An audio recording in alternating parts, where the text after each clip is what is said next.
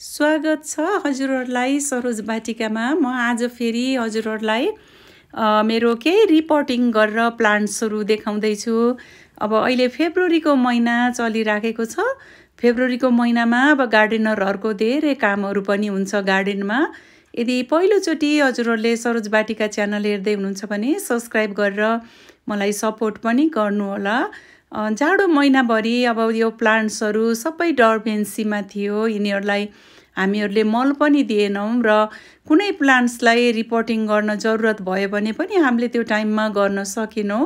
र मैले आज हजुरहरूलाई मेरो तिनवटा ड्रेसिना को प्लान्ट्स र एउटा क्रिसमस बेरी रिपोर्टिङ गरेर देखाउँछु। किनभने अब यिनीहरूलाई अब फेरि हामीले हेल्दी बनाउनलाई र अब यो समर आइराखेको छ र यिनीहरूको अब ग्रोङ ग्रोइङ टाइम पनि हो सरी।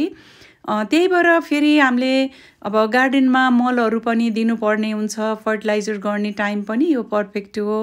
र कुनै अब पर्ट्सहरू हाम्रो सानो भइराखेको छ भने पनि प्लान्ट्सको लागि हामीले फेरि रिपोर्ट गर्नुपर्ने हुन्छ र अब मैले हजुरहरूलाई यो देखाइराखेको अहिले यो क्रिसमस बेरी भनेर भन्छ यसलाई। अब यो राम्रो रातो रङको अब यो गेडा जस्तो फलि नै रहन्छ र यो राम्रो अर्नामेन्टल प्लान्ट्स पनि हो।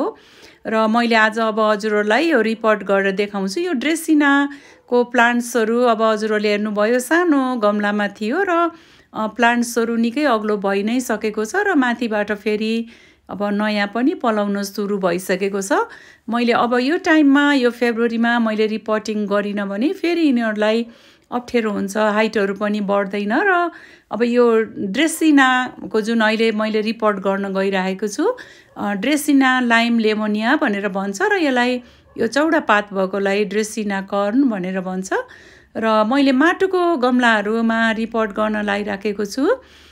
किनभने मलाई माटोको गमलाहरू राम्रो लाग्छ यसमा धेरै रुट रटहरू पनि हुँदैन र जहिले पनि हामीले रिपोर्ट गर्दाखेरि तल यस्तो गरेर पट्सको तल फुटेको गमलाको टुक्रा अथवा सानो इँटाको टुक्राहरू राख्नुपर्ने हुन्छ। यसले गरेर तल पानीलाई वेल ड्रेन हुन पनि सजिलो हुन्छ। माटो चाहिँ मैले लगभग मिलाएर नै राखेको छु। यसमा मैले अब जति भाग माटो राखेँ सिम्पल गार्डन सोइल आधा आधा भाग फेरि मैले कम्पोस्ट मल त्यस्तो राखेको छु। कम्पोस्ट चाहिँ हजुरहरूले अलिकति यो झारहरू जस्तो देख्नुभएको छ।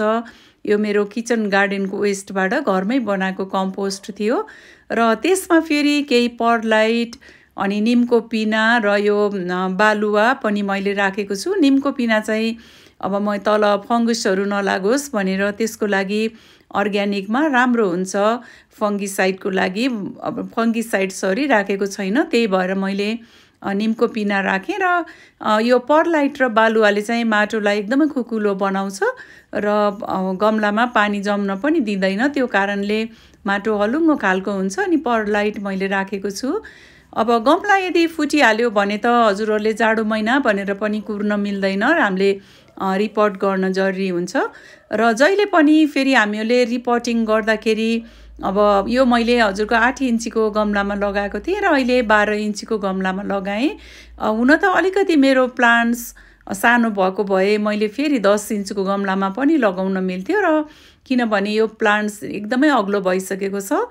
त्यही भएर मैले बाह्र इन्चको गमला नै रोजेँ हजुर। अब अब अलिकति अहिले यो फागुन महिना भए पनि यो काठमाडौँ एरियाहरूमा अलिकति चिसो नै छ। त्यही भएर अब कुरी नै राखेँ मैले र तर आज मैले फेरि यसलाई रिपोर्टिङ पनि गरेँ। अब पहिला पनि यिनीहरूलाई राम्रै माटो बनाएर लगाएको थिएँ त्यही भएर मलाई निकाल्न पनि त्यस्तो गाह्रो भएन। र यसको जराहरू अब एरियल तल सरी फाइबर रुट्सहरू मसिनो जराहरू त्यति धेरै रहेनछ र अलिकति चिसो पनि अझ नहटेको भएर मैले धेरै चाहिँ जराहरू चलाउँदिनँ यसको। अब मसिनो जरा धेरै छ भने फेरि हामीले काटेर फ्याँक्नु पर्ने हुन्छ। र जहिले पनि रिपोर्टिङ गर्दा तल पहिला राम हामीले राखेको त्यो अब गमलाको टुक्राहरू तिनीहरू झिकेर तलपट्टि माटो खोलिदिनु पर्ने हुन्छ र यदि जरा धेरै छ नराम्रो खालको भने हामीले कटिङ पनि गरिदिनु पर्ने हुन्छ। र अब यिनीहरूलाई अब हामीहरूले ड्रेसिनाको जुन अर्नामेन्टल प्लान्ट्स हो यो एकदमै राम्रो हुन्छ। हामीले घरभित्र राख्नलाई पनि अब मैले सबै रिपोर्ट गरेको त देखाइनँ हजुरहरूलाई। भिडियो फेरि लामो हुन्छ। हजुरहरूले हेर्नुभयो मेरो तिनवटा यो ड्रेसिनाको प्लान्ट्सहरू र एउटा क्रिसमस बेरी। मैले यसपालि चाहिँ सबै नै बाह्र इन्चको गमलामा लगाइराखेको छु।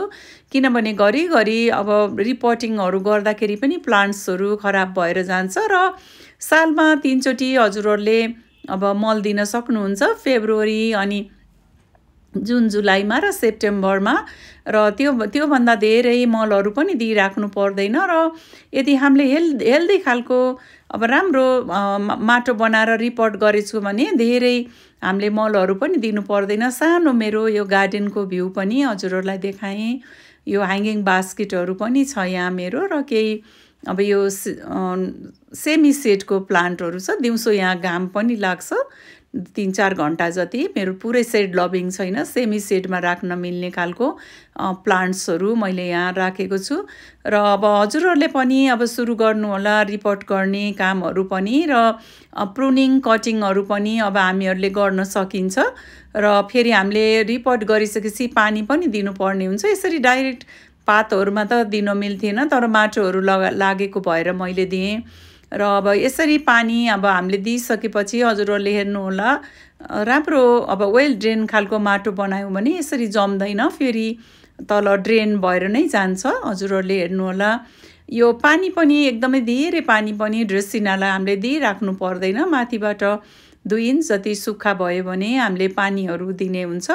र फेरि हामीले रिपोर्टिङ गरिसकेपछि यो प्लान्ट्सहरूलाई लगेर कुनै पनि प्लान्ट्सको हामीले रिपोर्ट गऱ्यौँ भने डाइरेक्ट घाममा लगेर चाहिँ हामीहरूले यिनीहरूलाई राख्न मिल्दैन। किनभने रिपोर्टिङ गर्दाखेरि यिनीहरूलाई अप्ठ्यारो परिराखेको हुन्छ।